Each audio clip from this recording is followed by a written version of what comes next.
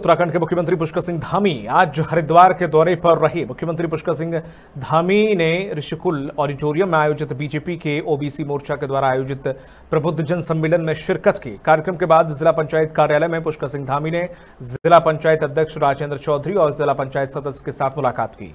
मुख्यमंत्री ने कार्यकर्ताओं को जनता के बीच सरकार की योजनाओं को जनता के बीच जाने का मंत्र भी दिया। इस दौरान मुख्यमंत्री पुष्कर सिंह धामी का कहना है कि हरिद्वार में ओबीसी मोर्चे का प्रबुद्ध जन सम्मेलन आयोजित किया गया इसमें प्रधानमंत्री नरेंद्र मोदी के द्वारा ओबीसी लोगों के लिए जो कार्य किए गए हैं, उस पर यहाँ पर चर्चा की गई। हमारे कार्यकर्ता घर घर जाकर सरकार के द्वारा किए जा रहे कार्यों को बताने का काम करेंगे कि किस प्रकार से केंद्र सरकार ने ओबीसी लोगों के लिए कार्य किया है। हरिद्वार से नरेश तोमर की रिपोर्ट।